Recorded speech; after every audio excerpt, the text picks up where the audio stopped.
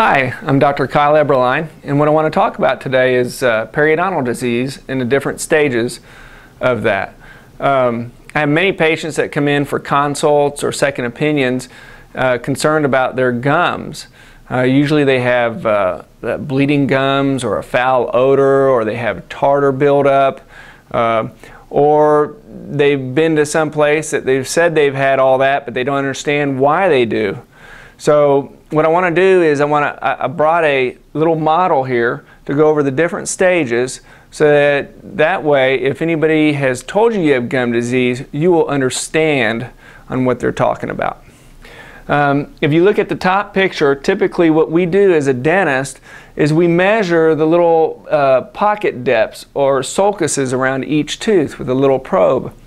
And normally uh, a healthy uh, gum will have about a one to three millimeter pocket and it doesn't bleed and it's pink and stippled and, and it looks healthy. And when we take x-rays, we look at it and we look at the height of bone. Is the bone normal around the tooth? And that's what we call healthy dentition and a healthy periodontium, so healthy teeth and gums. Um, a lot of people come in and they have gingivitis. And a lot of people are, don't really understand what that means. Well, that's an inflammation of your gums. Uh, that's what that bleeding and swelling that you have is. The thing about gingivitis is that it's reversible. So so with just good brushing and flossing and seeing your healthcare provider with a, with a dental cleaning, you can basically reverse all that. And what this uh, picture here is demonstrates that typically people with gingivitis may have three, four millimeter pockets, but they don't have any bone loss. Okay, so that's what makes it reversible. And of course, uh, you can look at these pictures here and you can look at yourself and you can see um, maybe a reflection on where you're at uh, according to those pictures. Now, typically gum disease is has uh, three stages in it. It has a mild, a moderate, and severe. Um, a mild amount, uh, a mild periodontal disease is somebody that comes in with um, four, five millimeter pockets around their teeth and typically, their x rays are showing that they're losing a little bit of bone around the teeth. Um, we usually treat that very conservatively. Now, if uh, somebody comes in with that and they don't get that treated, then what happens is those pockets will continue to get deeper. They'll lose bone and they'll show it on their x rays where they're starting to lose bone from up here way down here and even down uh, between the roots of the teeth. So this person down here has a moderate amount of gum disease.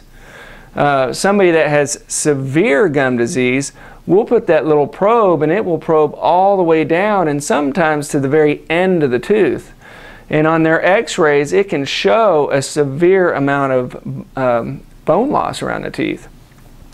Normally, people that have gum disease, if you catch it in time, it can be treated with, a, with what we call a soft tissue management program. And that's where you come in and see the hygienist and they use some fine instruments to clean the tartar and infection and debris around the roots of the teeth right in here and it's a very conservative approach. We'll use some medicaments that will help desensitize the teeth or that will eliminate bacteria through some localized antibiotics and the success rate is, is very very high on stuff like that.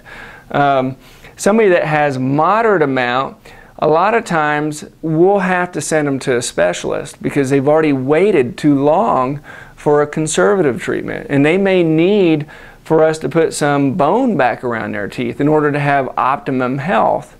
Um, if you're a person that has severe gum disease, most likely you may end up having to have those teeth removed in order to eliminate that disease. Now, why do you want to treat gum disease? Well, it's pretty, it's pretty obvious that gum disease affects your whole mouth, but it also affects your whole body. Um, we all know the studies today show that gum disease is linked to heart disease, to higher incidence of stroke, to higher incidence of pancreatic cancer. Um, th there's a whole array of illnesses that really infect uh, from your mouth to your whole body. So we know through studies that if you can treat your gum problems, you're not just helping your teeth, you're helping your whole body. Um, I hope that this explains a little bit about what gum disease is, but uh, if you have a concern or if you feel like you have something like this going on, um, please call the number at the, the bottom of the screen.